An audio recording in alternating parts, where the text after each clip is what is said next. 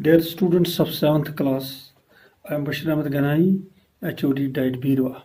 Today we will discuss about water. A substance on this planet which is used in maximum amount. Earth is called water planet as four-fifths of its surface is covered by water. Water occurs as vapors in air, moisture in soil, hidden underneath as groundwater, present on surface in oceans, lakes, rivers, etc. Water is essential for the existence of life on earth. Growth and development of plants and animals requires water.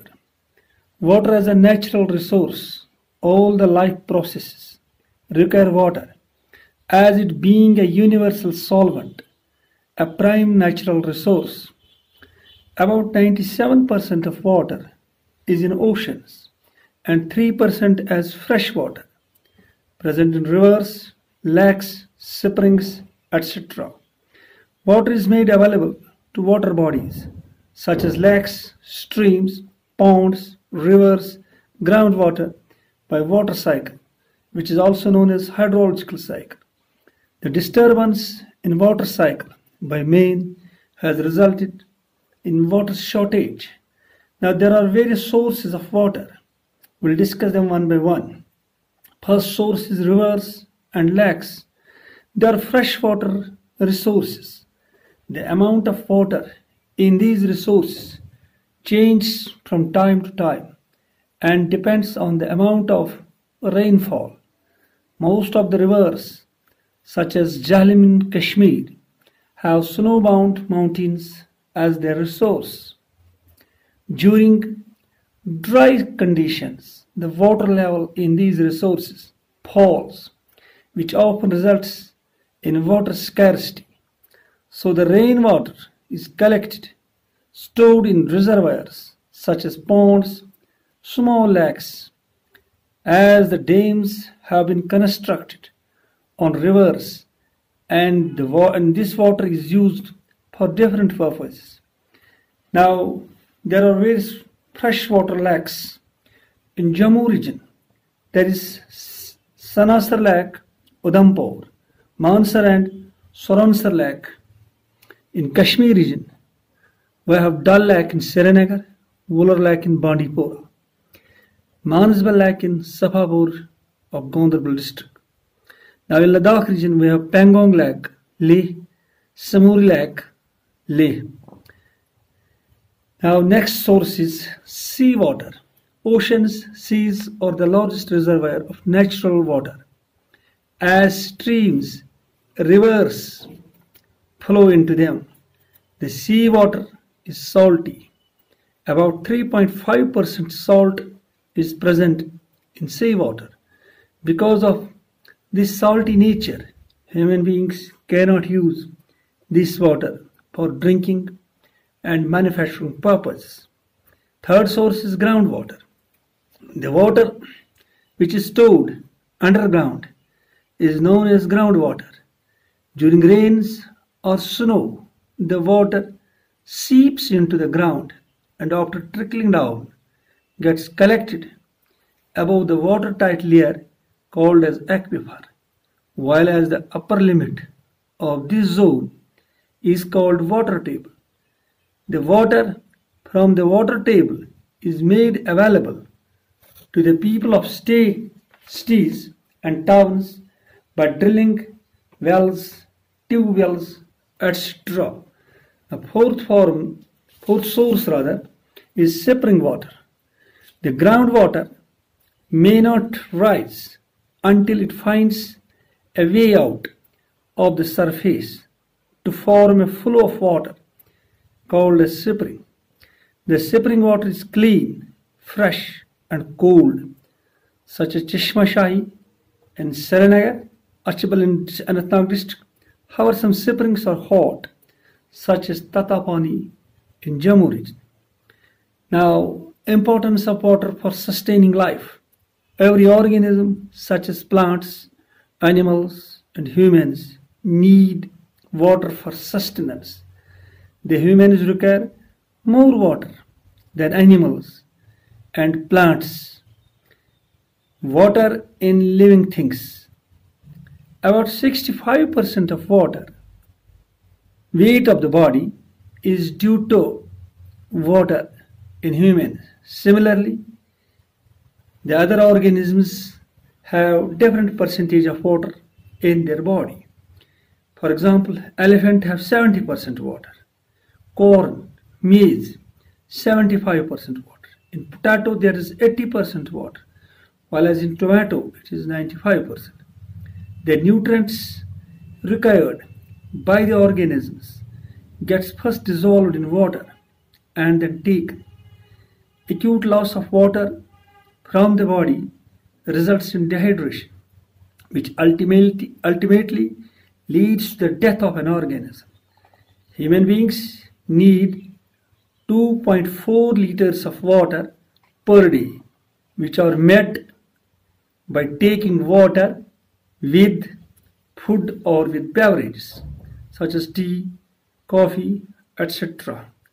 Water is also needed in circulation of blood and excretion of wastes from the body and also regulates body temperature by sweating. Next is water in the homes. About 260 liters of water per family is used for cleaning, cooking, bathing and carrying away the wastes. Next is water for irrigation. In India, irrigation water constitutes 97% of all uses and accounts for 90% of human use of fresh water. Most of the plants cultivated by man require huge quantity of water. In J&K, irrigation is done through canals, wells and tanks, tube wells, rivers, springs. Seeds of many plants are dispersed that's transported from one place to another place by water.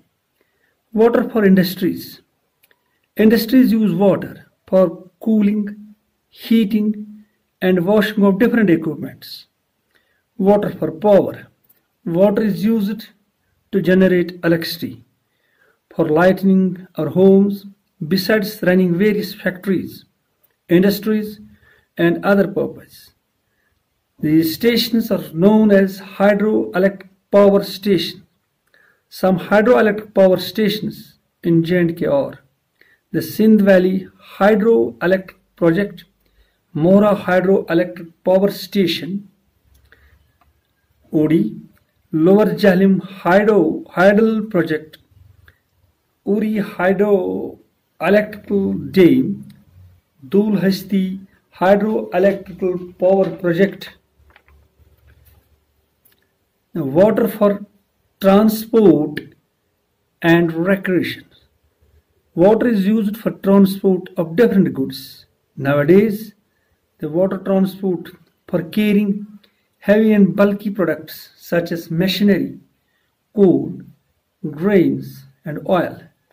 Various recreation areas have been built by men using different transport.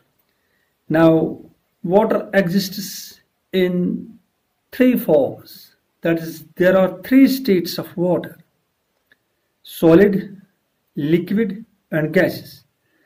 When water is kept in the freezer or refrigerator, it solidifies into ice.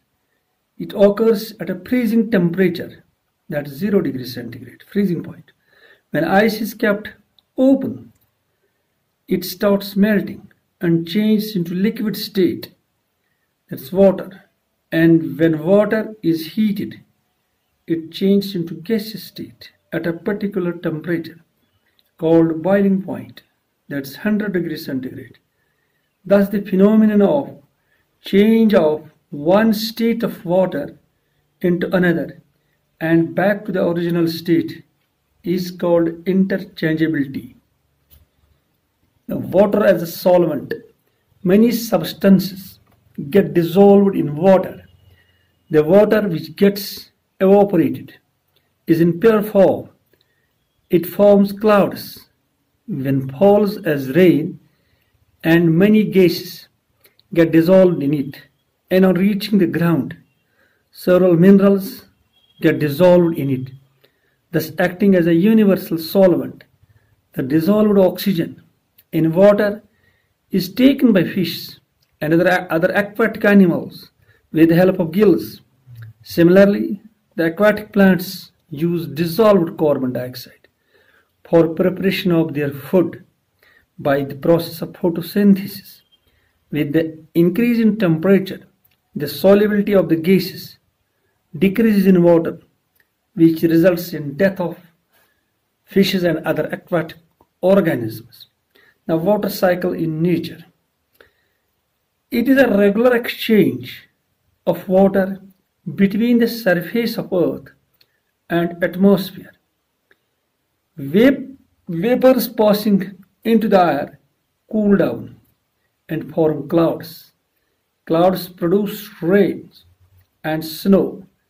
The excess water available over land ultimately reaches oceans through rivers and other forms of water flow. This cycle goes on and is called water cycle in nature. Thank you very much. Have a nice day.